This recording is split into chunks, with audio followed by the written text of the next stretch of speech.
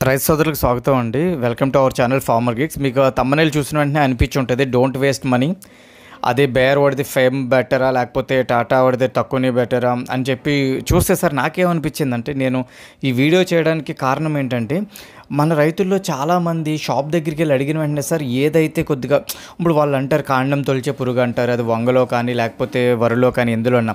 వాళ్ళు ఏదైతే కొద్దిగా తక్కువ ఉందో అది తీసుకోవడానికి ఇష్టపడతారు. కాకపోతే ఏమవుతుంది రిజల్ట్ అయితే వెంటనే కనిపిస్తుంది.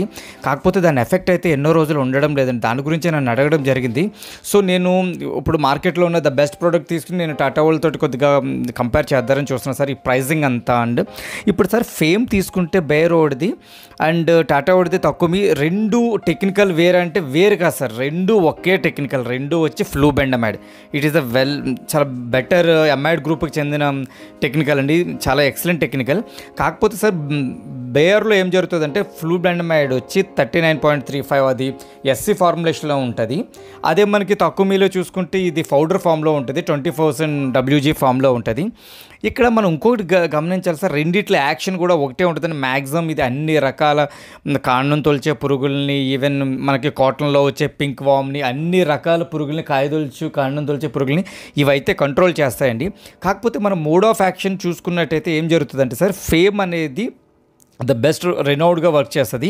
ఇది మనం ఒకసారి స్ప్రే చేసిన తర్వాత దగ్గర దగ్గరగా మనకు ఒక ట్వంటీ ట్వంటీ ఫైవ్ డేస్ వరకు ఇది మనకి దాని మీద కంట్రోల్ అయితే ఉంటుందండి. ఇదేంటంటే ట్రాన్స్లామినర్ వే కింద ఇది ఉపయోగపడి ఎస్సీ ఫార్ములేషన్లో ఉండడం వల్ల మొత్తం చెట్టుకు మొత్తం అది మన ఆకులకి మొత్తం అంతా దీన్ని ఒక రక్షణ కవచం కింద ఉంటుంది. ఇమ్మీడియట్గా ఇది స్ప్రే చేసిన వెంటనే ఏం జరుగుతుందంటే సార్ ఇమ్మీడియట్గా అవి ఫీడింగ్ అనేది ఆపేస్తుందండి.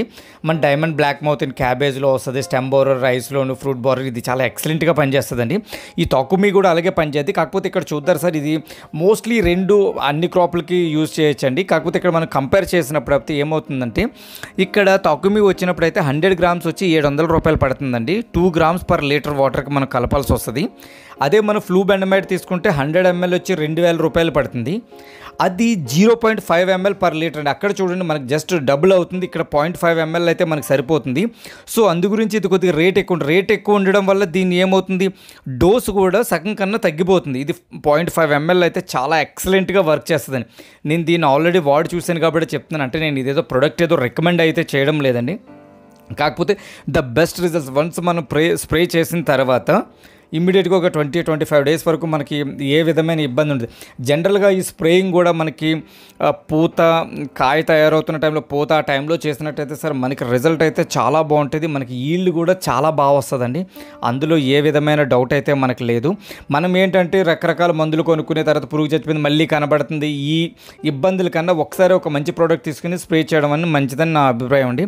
Thank you sir. Thanks for watching our channel. Thank you so much.